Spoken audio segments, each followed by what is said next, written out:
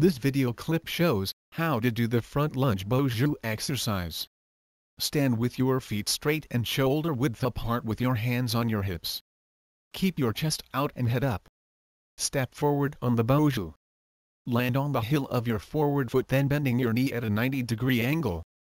Do not bend your front knee past your toes. Your back leg will also be lowered at a 90 degree angle raising the back heel off the floor. Return to your standing position by pushing off the heel of your front foot onto your back leg. This is a YourSportsTrainer.com production.